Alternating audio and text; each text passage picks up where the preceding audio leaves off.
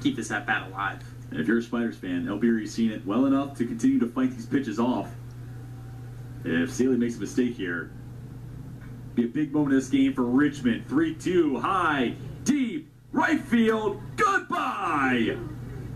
Go ahead, grand slam, Jake Elberry makes it 5-4 Richmond. And you just called it there. The mistake from Saley 3 2.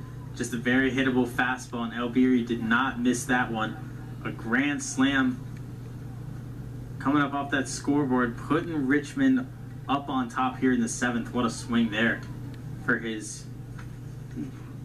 for his first home run of the year.